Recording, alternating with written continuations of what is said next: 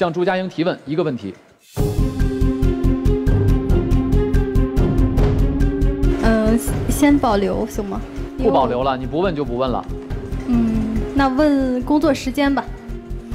哎，为什么要问工作时间呢？你是一个那么上进的姑娘。问问的太对了。关于销售的工作时间，我我是这样的，我说我的时间吧。呃，正常来讲，除了我生活以外的时间，我每天花在工作上的时间大概是十二到十四个小时。我的团队体量大概是五百人的规模，大概的业务营收的话也是大几个亿，大概是这样子。我是这样安排的，我的工作时间。嗯，真棒。呵，表扬了佳英哈。对，我很欣赏他。所以张晋，我还是很想知道你为什么问这个问题。因为我没有问题，然后就随口说了一个。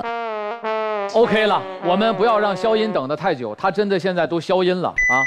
来吧，肖音，我先回答你那个问题啊。我们公司在这点上就是福利，人家没问我们是九点，讲，我先回答。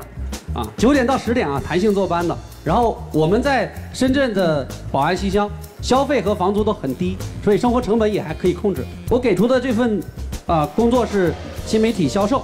然后提成呢是上浮设限的，然后这里面销售也还有包括一部分的策划呀、运营啊，我觉得能发挥你更多的一个才能。提问一个问题，如果实在没有问题，你就可以不问，不留难。我们是销售美容产品吗？对，美容产品。嗯，会经常出差。看自愿哈，就是相相对来说出差不是很多。好。接下来在同道猎聘和 Inface 之间二选一，或者谢谢再见，计时开始。